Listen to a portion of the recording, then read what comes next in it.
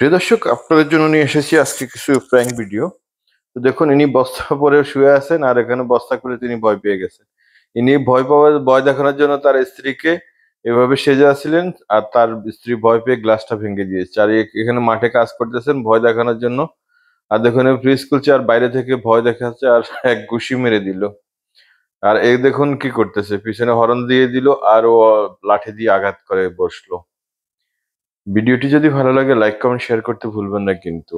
আর এ কি করেছে? তার খাবারের প্লেটটা বাইরের দিকে ছুঁড়ে মেরে দিয়েছে এবং গ্লাস ভেঙে চালিয়ে গেছে। আর এই মহিলা কি করছে দেখেন? ভয়ে